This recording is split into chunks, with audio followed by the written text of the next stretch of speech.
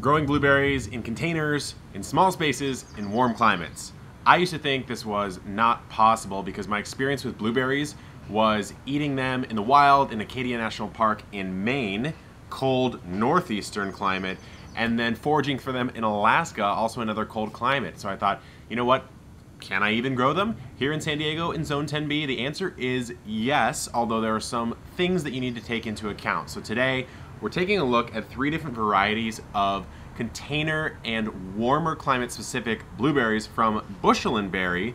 Really cool varieties. So we're gonna pot these up and just talk about how to care for them. Our first variety is Southern Bluebelle. This, these two right here, 250 to 300 chill hours, very low amount for a warm climate like mine.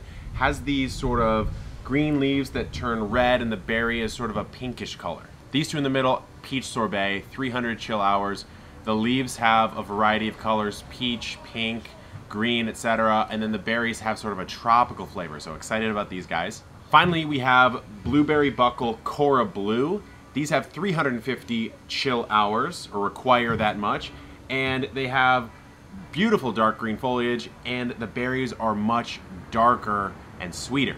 So Excited to try all three of these. Let's pot these up and talk about how to care for them. So blueberries are a plant that require extremely low pH relative to most plants, four to five range. So what I'm using for that is an azalea and camellia mix, which is low pH.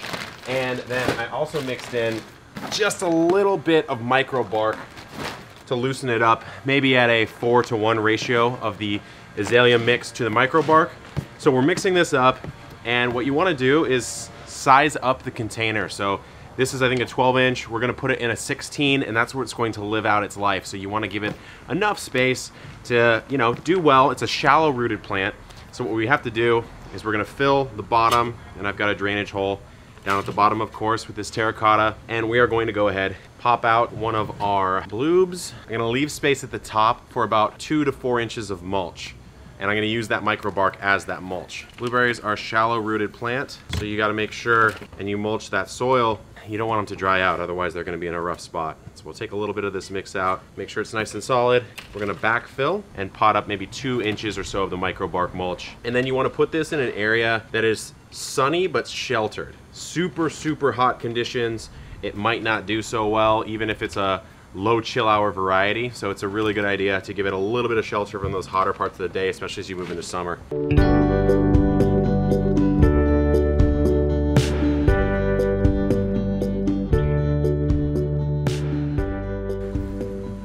All right, we're potted up. We have the blueberry buckles here, two of them. We have the peach sorbet, the southern bluebelle right here. Blueberries typically need about one to two inches of water a week. Of course, if you mulch and if you're in a terracotta, that's going to evaporate out a little bit more. So just kind of have to keep a manual eye on it until you get a sense for it.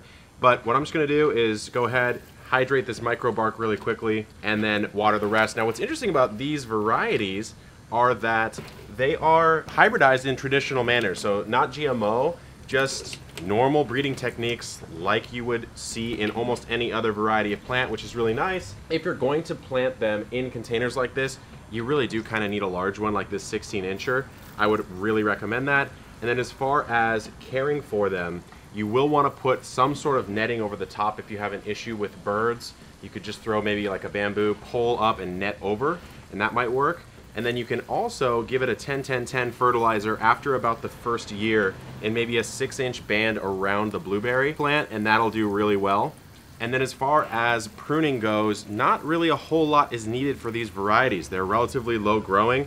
You can kind of just let them go and you'll be in a really good spot to enjoy blueberries as long as you want. I mean, blueberry plants last quite a long time. So I got my berries here hanging out in relatively full sun, although as soon as the sun gets about right there, it does start to shade it just slightly. So hopefully that provides a little bit of summer cover during those hotter months of the year. A couple more notes before we go.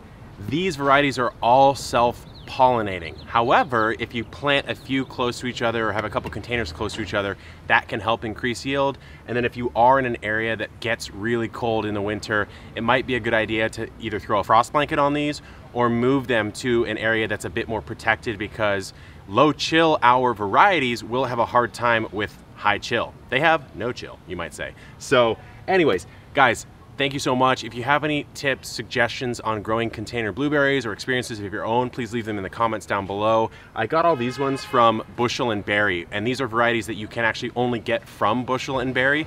So feel free to check them out. But until next time, good luck in the garden and keep on growing.